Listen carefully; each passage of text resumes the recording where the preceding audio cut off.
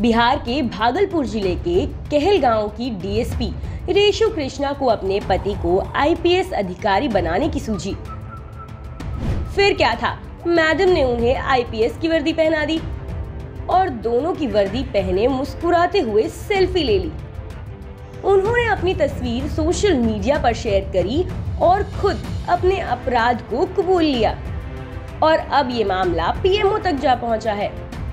दरअसल, social media पर रेणु कृष्णा की सेल्फी पोस्ट होते ही किसी ने उनकी फ़ोटो को प्रधानमंत्री कार्यालय भेज उसकी शिकायत कर दी। शिकायतकर्ता ने कहा कि एसडीपीओ रेशु कृष्णा के पति ने आईपीएस की वर्दी कैसे पहनी?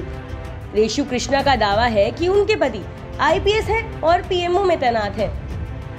इसके बाद पीएमओ ने बिहार पुलिस मुख्यालय को शिकायत भेजी और रिपोर्ट मांगी। पीएमओ के रिपोर्ट मांगते ही बिहार पुलिस मुख्यालय ने जाँच शुरू करी, जिसमें उन्होंने पाया कि एसडीपीओ के पति आईपीएस ऑफिसर नहीं है। सूत्रों के मुताबिक भागलपुर के एसएसपी ने जाँच कर रिपोर्ट पुलिस मुख्यालय को भेज दी और अब रेशु कृष्णा पर कार्रवाई हो सकती है। बता दें कि सेना और पुलिस की वर्दी कोई अन्य व्यक्ति नहीं पहन सकता। शस्त्र बल अधिनियम, सरकारी गोपनीयता कानून और भारतीय दंड संहिता में इसके खिलाफ कई प्रावधान है।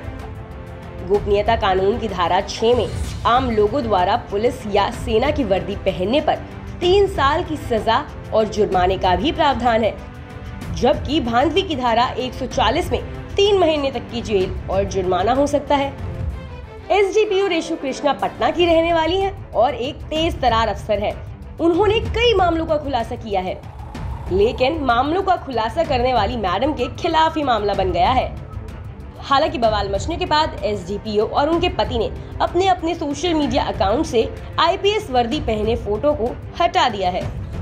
देश और दुनिया की तमाम खबरों के लिए बने रहिए मनी कंट्रोल हिंदी के साथ।